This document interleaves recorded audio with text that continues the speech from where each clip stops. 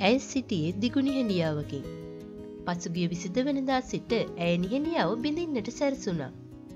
ඒ සුමිත්‍රා රාහුබද්දගේ කතාව සහ තිර්රචනයකට අනුව අත්සොක් අතාවුද හෙට්ටිගේ අධ්‍යක්ෂණයෙන් රේනුකා බාලසූරිය සහ සුනිල්ටි ප්‍රනන්දුගේ නිෂ්පාදනයෙන් රිදිතිරයට ගොඩ වුණු මින්නු හරහා. කෞදය ඇය නමින් මේනකා පීරිස්.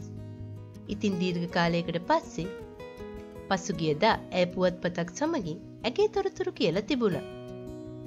අපි අද ඔයාලට අරගෙනාවේ ඒ කතා බහ. රිදිතිරින් මව දකින්න හම්බ වෙන්නේ මගේ මතකයේ හැටියට අවුරුදු හතකට විතර පස්සේ. මින්නු කියන්නේ වෙනස්ම කතා තේමාවකින් නිර්මාණය වුණු චිත්‍රපටයක්. මනුස්සයෙකුට ජීවත් වෙන්න ආත්‍රී කොයිතරම් දුරට වැදගත්ද කියන කාරණාව. මින්නු සිනමා නිර්මාණය හරහා මුළු සමස්ත සමාජයටම දැනේවි කියලා මට හිතෙනවා.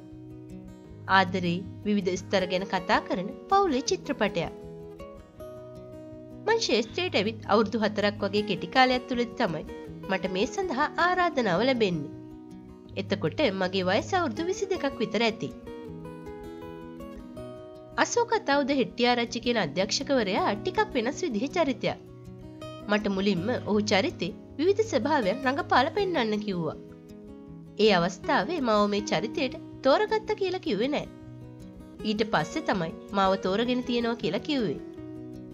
මේක සුමිත්‍රා රාහුබද්දගේ තිරපිටපතක් සහ රේණුකා බාලසූරිය වගේම සුනිල්ට්‍ර ප්‍රනන්දු මහතාගේ නිෂ්පාදනයක්. මින්නු කියන්නේ සෑහෙන කාලෙකට කලින් කරපු වැඩ. හරියටම කිව්වොත් මේක අවුරුදු එකොළහකට කලින් කරපු වැඩ. මගේ මතකේ හැටියට මෙහි රූපගත කිරීම් සිදු කළේ දෙදස් දහතුන වර්ෂයේ අගෝස්තුවේදී. මං මේ දවස්වල සෙකියරිටි. මොකද අපේ පුතාව පෙරපාසල් අධ්‍යාපනයට යොමු කළා. එයාට මන් නැතුව ඉන්න බැහැ. ඉතින් පෙරපාසල් ගිය ගමන් ඇඬුවා. අම්ම කෙනෙක් විදිහට මටත් ඒක දරාගන්න බෑ.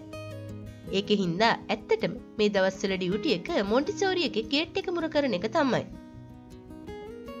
රඟපාන්න නිර්මාණ කීපයකටම ආරාධනා කළා. මම අවුරුදු තුනකින් රංගන ජීවිතය කිසිම වැඩ කටයුත්තක් කළේ නෑ. මං හරි ආසාවෙන් ඉන්නවා වගේ වෙනස්ම විදිහේ කර්කශ චරිතයකින් ප්‍රේක්ෂකය අතරට යන්න. හොඳ තිරපිටපතක් ලැබෙනකන් තමයි මං බලාගෙන ඉන්නේ. කොහොමුණත් මං රඟපෑමට සම්පූර්ණය සමුදීලන නැහැ. කලාවෙන් කෙටිකාලයක් සමුගත්තේ පුංචි විවේකයකට. ඇත්තටම පුස්තා නිසා තමයි ඒ කෙටිකාලයත් මං විවේකයක් ගත්තේ. දරුවා කුසට ආපු දවස ඉඳලා ඒක මම වින්දා. මගේ දරුවා කුසේ ඉඳලා පළමුවෙන්ම මට ප්‍රතිචාර දක්වපු දවස වගේම වෙලාවත් මට අද වගේ මතකයි. ඇත්තටම මට ඒ ගැන කියන්න වචන නැහැ. ඉතින් ඒ හින්දයි මං කලාවට පොඩි විවේකයක් දුන්නේ. මොකද ඔහුගේ ළමා කාලේ ආපහු දකින්න බැහැනේ. මෙයා එන්න එන්න ලොකු වෙනවා. ඉතින් ඒ කාලය මට අහිමි වේවි කියලා හිතලමයි ඒ විවේකය ලබා ගත්තේ. මම රඟපාන්න කැමති චරිත ගත්තොත් ටිකක් වෙනස්ම විදිහේ කර්කස්ට චරිතයක් රඟපාන්න මං කැමති. ඇත්තටම සමහරක් චරිත තියෙන් හරිම දුක්විඳින්න ඕන චරිත. රඟපෑමටත් ඒ දුක විඳින්න ඕන. මං ආසයි හැමතිස්සෙම කරන්න අපහසු විදිහ චරිතයක් කරන්න. මොකද මට හම්බ වුණේ ඒ වගේ චරිත. මට ලැබුණු ගොඩක් චරිත හරි බරයි. ඉතිං මං අදටත් ආසයි ඒ වගේ චරිතයක් කරන්න. මගේ නර්තන හැකියාවට මොකද වුණේ කියලා ගොඩක් අය හොයනවා. මං ඒකට අවුරුදු තුනකට විරාමයක් දුන්න. පුතාට අවුරුදු එක හමාරක් වුණාට පස්සේ තමයි මගේ නර්තන පන්තිය මගේ ගෙදර පටන් ගත්තේ. පොඩි වෙනසකටත් එක්ක තමයි ඒක ආරම්භ කළේ. දැන්නම් පිළියන්දල ෆැඩ් බිල්ඩින් එකේ ඉහළ මාලේ තමයි නර්තන පන්තිය පවත්වාගෙන යන්නේ. දැන් විවිධ ප්‍රදේශවලින් දුරකථ නැමතුන් එනවා පන්තිය පවත්වන්න කියලා. ඉස්සර නම් මගේ නර්තන පන්ති ශාඛා පහක් හයක් තිබුණා. ඒ සේරම නවත්තලා දැම්මා. මොකද කොරෝනා වසංගතයේ හින්දා අපේ සේරම දේවල් නවත්තන්න සිද්ධ වුණා. දැනට මම එක පන්තියයි පවත්වගෙන යන්නේ. මොකද පුතාව දැන් මාස දෙකක් තිස්සේ තමයි ගෙදර තියලා යන්නේ. නැතිනම් මං ඔහුවත් නැටුම් පන්තියට අරගෙන ගියා.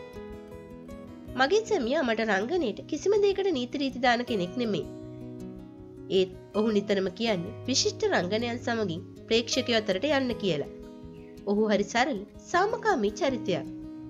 ලොකු ලොකු දේවල් එයාගේ හිතේ නෑ. එයාටත් අවශ්‍ය සතුටින් ජීවිතය ගත කරන්න. ඇත්තටම කිව්වොත් හරිම සරලයි. කිසිම විදිහේ නීතියක් මට දාලා නෑ. මගේ රංගන ජීවිතය ගැන ආපසු හැරිලා බැලුවොත් රංගන ජීවිතේ හින්දා මම සෑහෙන තෘප්තියක් ලැබුවා. ප්‍රේක්ෂකය අතරට යම් පණිවිඩයක් දෙන්න පුළුවන් චරිතයක් මම රඟපෑවා කියලා මට හිතෙනවා. මා විශ්වාස කරලා හොඳ චරිත මට අධ්‍යක්ෂකවරු ලබා දුන්න. ඇත්තටම ආපස්සට හැරිලා බලද්දි මට කියන්න තියෙන්නේ මම රඟපාපු ලස්සන චරිත තියෙනවා. හැබැයි මම ලොකු නාට්‍ය කරපු කෙනෙකුත් නෙමෙයි. ඒ හැම චරිතයක්ම අතිශය ගැඹුරු සමාජයට පණිවිඩයක් දෙන රංගන ශිල්පිනියක් විදිහට මාර කැපකිරීමක් කරන්න තිබුණු චරිත. මම තේරුම් ගත්ත එක දෙයයි. අපේ ජීවිතේ හැම දෙයක්ම හැම මොහොතකම සිද්ධ වෙන්නේ අපේම හොඳට. මන් තේරුම් ගත්ත එකම දේ අන්න එච්චරයි. මගේ ජීවිතේ ආපහු හැරලා බැලුවොත් මට වෙලා තියෙන හැම දෙම හොඳට සිද්ධ වුණු දේවල්. මම දුක් වෙන, පසුතැවෙන කෙනෙක් නෙමෙයි. මං හැමතිස්සෙම උත්සාහ කරන්නේ ජීවිතේ ඉදිරියට යන්න. මට හරි සතුටුයි මගේ ජීවිතේ ගැන. මට ලැබිලා තියෙන මේ ලෝකේ හරි උතුම්ම සම්පත වන මව්පදවිය. ඊළඟට මගේ දරුවා. ඔහුගේ මුහුණ දකිද්දී මම තමයි මේ ලෝකෙ ඉන්න වාසනාවන්තම අම්මා කියලා මට හිතෙනවා. මේ ලෝකෙ ජීවත් වන ගොඩක් අම්මලටත් එහෙම හිතෙනවා ඇති. කියලා තමයි මේනකා අවසන් වශයෙන් කියලා තිබුණේ. ඉතින් කොහොමුණත් දක්ෂ රංගන ශිල්පිනියක් විදිහට අපි හැමෝගෙම ආදරය අඩු නැතුව දිනාගත්ත. මේනකා පීරිස්ට සුබ අනාගතයකට අපෙන් උණුසුම් සුබ පැතුම්